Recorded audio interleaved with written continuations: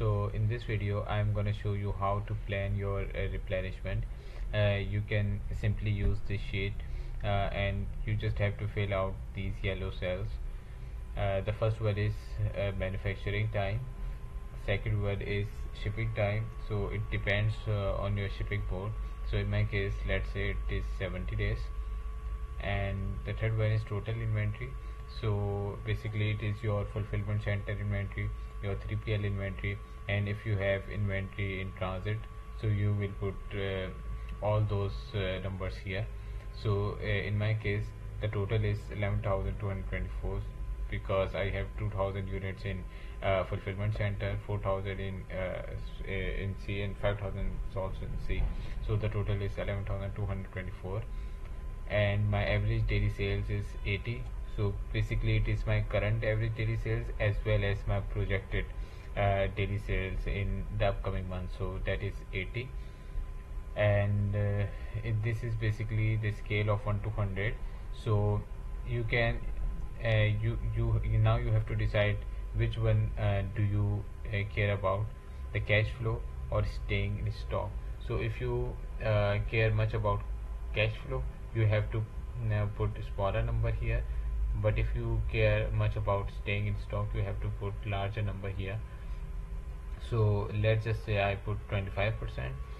Basically this is uh, this is a buffer. So uh, in my case if it is 25 percent it means that I I want to have uh, 25 percent extra inventory uh, available all the time. Uh, so this means that uh, if something bad happens I always have 25 percent inventory in fulfillment center.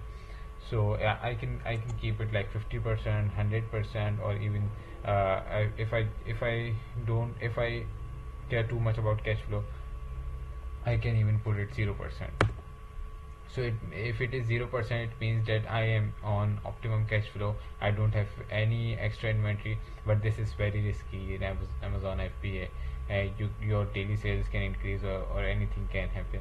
So you have to have something extra uh, in your fulfillment center. So that is 25 percent. So um, now uh, as per these numbers I have to I have to place my second order after 35 days and the quantity will be 8500 and in terms of date I have to place my second order on 26 February because today is 22 and the quantity will be uh, not exactly 8500 it will be 8568 units extra. Uh, and that is because I have 126 pieces in a carton. So I want to uh, place uh, the order of full carton instead of half carton because I have 26 pieces in a carton so I have to uh, order 68 units extra. So let's say if I have like uh, 70 units in a carton I have to order 40 units extra.